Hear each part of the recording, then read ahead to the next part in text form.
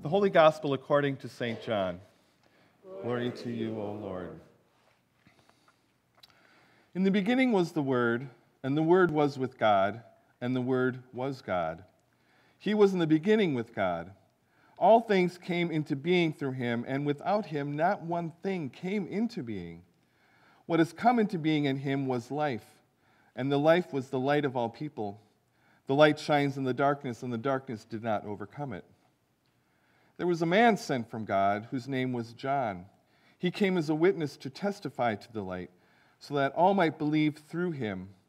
He himself was not the light, but he came to testify to the light. The true light, which enlightens everyone, was coming into the world.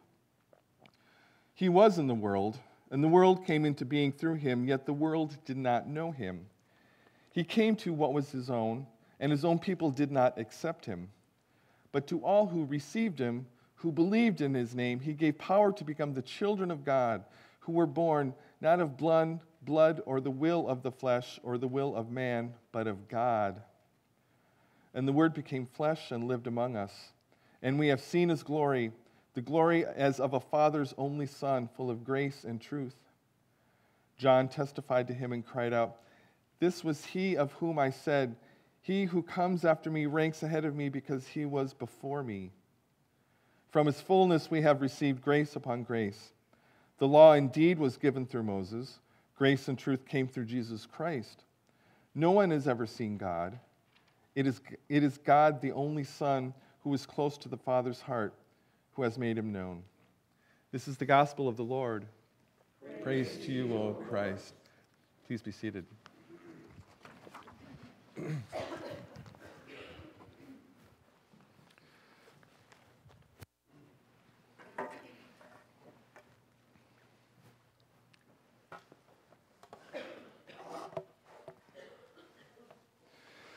Grace to you and peace from God our Father and from our Lord and Savior Jesus Christ.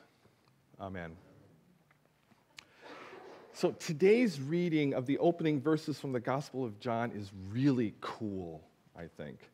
It's totally out there compared to the ways that the other Gospels begin. Matthew begins with the genealogy of Jesus, tracing, tracing Jesus' roots all the way back to Abraham. And then we have a short account of Jesus' birth and the visit of the Magi. Mark begins with the baptism of Jesus.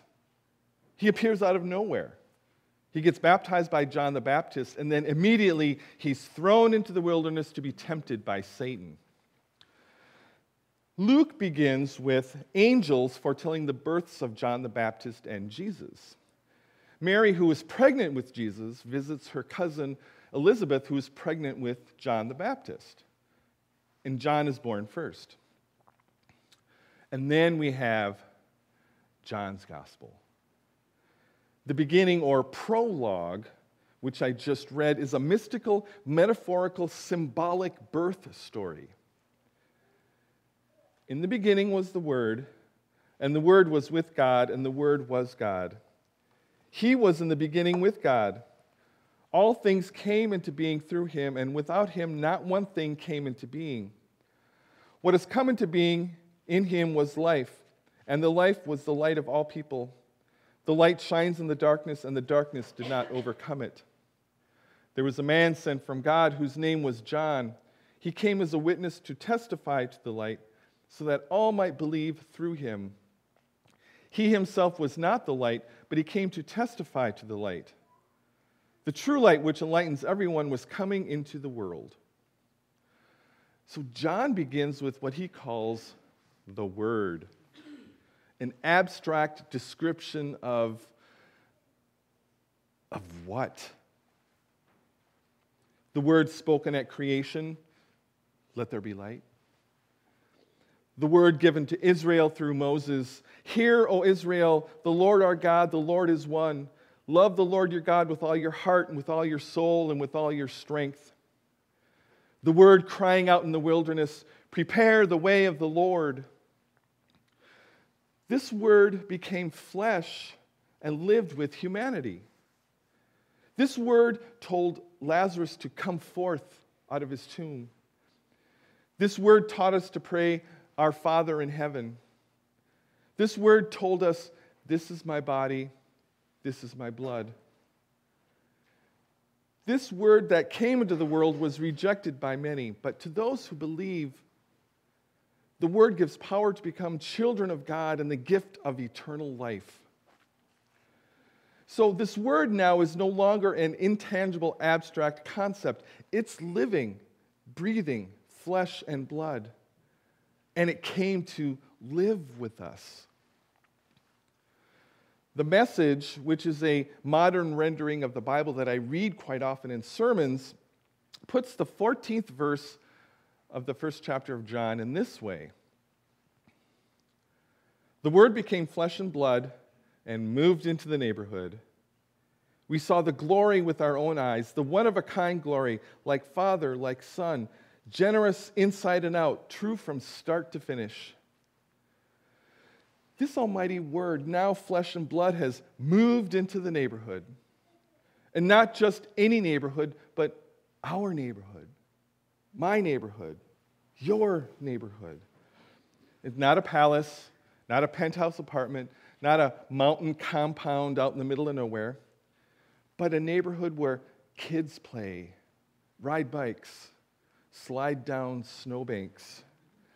A neighborhood where block parties take place on hot summer nights. A neighborhood that watches out for each other. This creating word, now flesh and blood, moved into a neighborhood where suffering is an everyday occurrence. A neighborhood that has seen abuse, been victimized by crime and violence.